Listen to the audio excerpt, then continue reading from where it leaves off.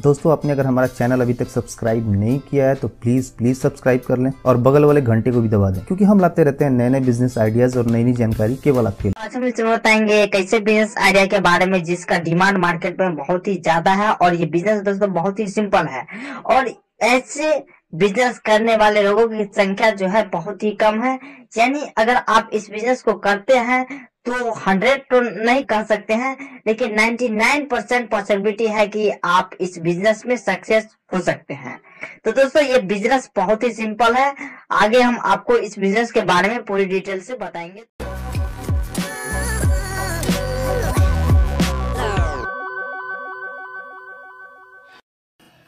दोस्तों, आज हम बात करेंगे एल्यूमिनियम फॉइल कंटेनर बिज़नेस के बारे में। दोस्तों, आजकल हर चीज़ होम डिलीवरी में आने लगी है। इवन फ़ूड भी आजकल हम ज़्यादा से ज़्यादा होम डिलीवर करते हैं। इसके अलावा अगर हम सफ़र पर जा रहे हैं तो वहाँ पर भी हम फ़ूड साथ में लेके जाते हैं। तो जिस कंटेनर में ये फ़ूड आता है, उसे कहते हैं एल्यूमिनियम फॉइल कंटेनर दोस्तों, इसकी खासियत ये होती है कि इसमें फ़ूड जो है वो गर्म का गर्म रहता है, ताज़ा रहता है। और सबसे अच्छी बात ये है कि ये जो कंटेनर होता है, ये रिसाइकलेबल होता है। तो इससे पोल्यूशन का भी कोई खतरा नहीं होता है। तो आइए दोस्तों, अब हम देखते हैं कि इस बिज़नेस को करने के लिए कौन सी मशीनरी की आवश्यकता होगी, इसमें कितनी कॉस्टिंग लगेगी, इसमें कितने रॉ मटेरियल लगेगा, इसमें कौन से लाइसेंस लगेंगे। आज हम इसी बारे में डिस्कशन करेंगे।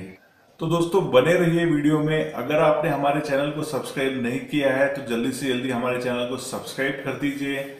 और दोस्तों, इस वीडियो को लाइक ज़रूर कीजिएगा। आइए दोस्तों, देखते हैं इस बिज़नेस के बारे में। दोस्तों, अगर बात की जाए इस बिज़नेस को स्टार्ट करने के लिए एरिया की तो आपको इंडस्ट्रियल एरिया में ये बिज़नेस को स्टार्ट करना होगा।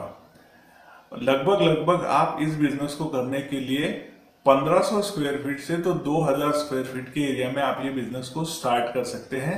उस एरिया में आपको इलेक्ट्रिसिटी भी कमर्शियल लेनी होगी और वहाँ पर पानी की व्यवस्था भी अच्छी खासी होनी चाहिए।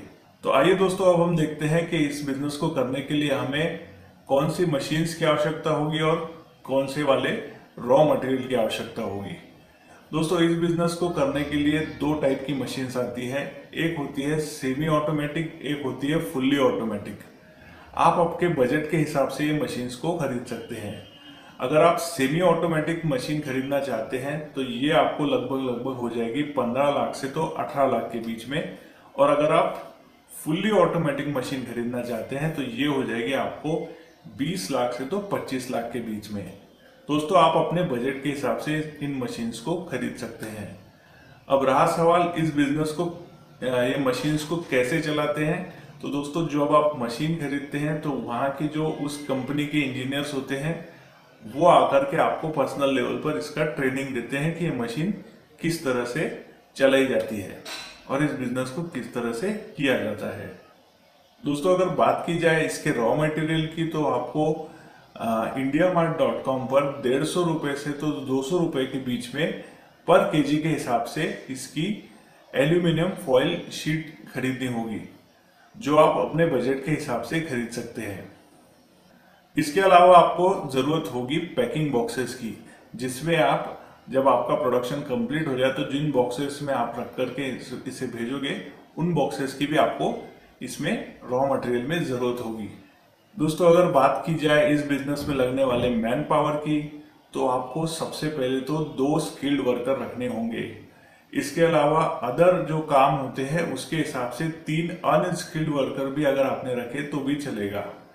इसके अलावा जब आपका प्रोडक्ट पूरा बनके रेडी हो जाता है तो आपको दो सेल्समैन भी रखने होंगे, जो आपका प्रोडक्ट की मार्केटिंग कर सके। दोस्तों, अगर बात की जाए इस बिज़नेस में लगने वाले लाइसेंस की तो सबसे पहले तो आपको उद्योग आधार का लाइसेंस लेना होगा। इसके बाद आपको इसमें ट्रेड लाइसेंस भी लेना होगा। इसके बाद आपको लगेगी ज़रूरत नो पोल्यूशन के लाइसेंस की। अगर आप ये बिज़नेस को शहर में कर रहे हैं सिटी के अंदर आता है तो आपको नो पोल्यूशन का लाइसेंस भी बहुत ज़्यादा इसमें इम्पोर्टेंट होगा।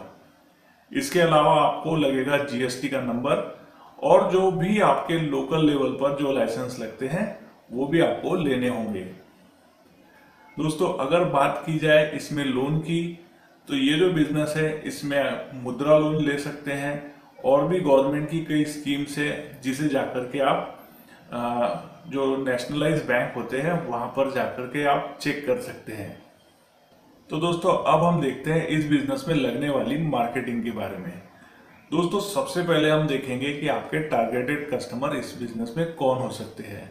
जैसे कि होटल्स है रेस्टोरेंट्स है सुपर बाज़ार है शोरूम्स है होलसेल वाले जो लोग हैं, वो भी आपके टारगेटेड कस्टमर हो सकते हैं।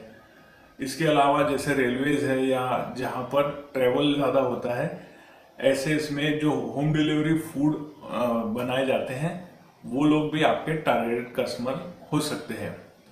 तो दोस्तों, इसके मार्केटिंग के लिए आपको दो से तीन परसेंट सेल्समैन आपको रखने होंगे, जो इन सारी जगहों पर जाकर के विज़िट करके आपके लिए ऑर्डर ला सके।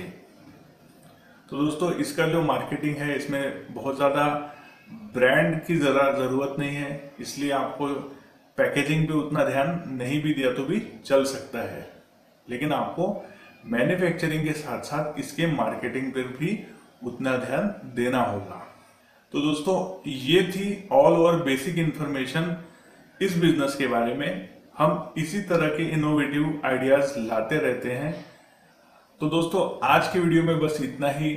अगर आपको हमारी ये वीडियो पसंद आई है तो इस वीडियो को ज़रूर ज़रूर लाइक कीजिए। अगर आपने हमारे चैनल को सब्सक्राइब नहीं किया है तो हमारे चैनल को ज़रूर सब्सक्राइब कीजिए और बेल आइकन ज़रूर दबाएँ ताकि आपको हमारी हर अपडेट्स इसी तरह मिलती रहे।